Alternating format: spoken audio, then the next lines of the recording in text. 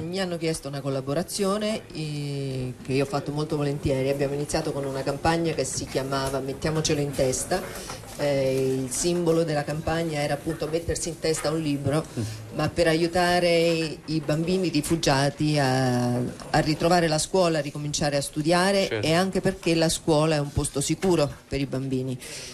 Per cui il diritto allo studio è fondamentale e il diritto a essere sicuri è fondamentale. Abbiamo iniziato questa cosa, mm, in tournée in teatro mi sono portata a UNHCR eh, con i miei braccialetti, con i miei libri in testa, sono andata nelle università e ho visto che mm, nei giovani c'è molto molto più apertura, Certo. ovviamente come è normale. Eh, bisogna parlare, bisogna parlare un linguaggio che capiscano e questo che abbiamo utilizzato è un linguaggio perfettamente Perché alla fine comprensibile. il linguaggio dell'arte, che tutti dicono che con l'arte non si mangia, tutte queste grandissime balle. Ma con l'arte poi si mangia. No, ma poi è il allora, linguaggio che dico- tutto il mondo parla. No, noi qua non è che è proprio Guarda guarda, qua. la panza di Pannofino. Cioè... Bello il sole!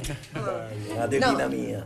Cioè alla fine la musica, il teatro sono lingue che tutti parlano. che tutti parlano se vogliamo, fa- se vogliamo parlare eh, il linguaggio delle persone, perché poi se vogliamo tenere una distanza anche lì non si comunica.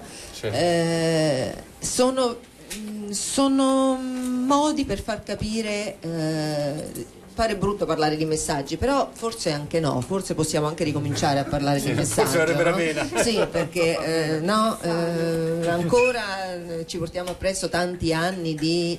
eh, No, io il dibattito no, esatto. No, non solo, ma anche, anche io sono molto contenta che esistano delle scuole come quelle di Tiziana perché eh, ho sentito per troppo tempo, cioè io voglio solo essere me stessa, è poco, non è abbastanza per andare in- su un palcoscenico e trattenere qualche migliaio di persone, se sai solo te stessa non è sufficiente. No, forse no. Ecco, forse no, magari studi, ma magari una volta ce ne frega per i famosi 15 minuti, poi dopo però ecco. Dateci un'altra lei stessa. Allora-. Allora, il centro di prima accoglienza è Lampedusa. Eh, il rifugiato arriva e approda nel paese. Di seconda accoglienza è già un principio di integrazione.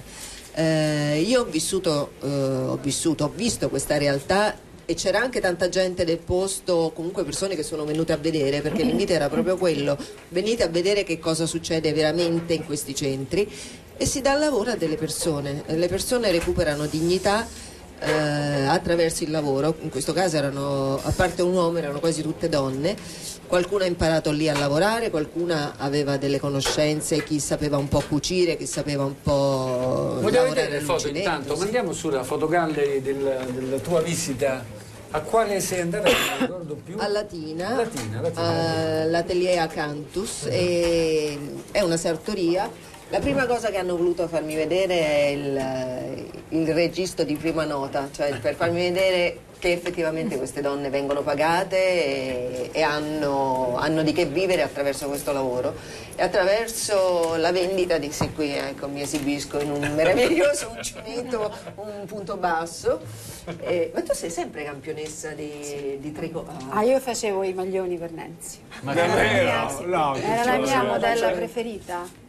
Mi ricordo gliene ho fatto uno di rete, bianco, Sì. con il cappellino uguale. Noi siamo molto amiche da...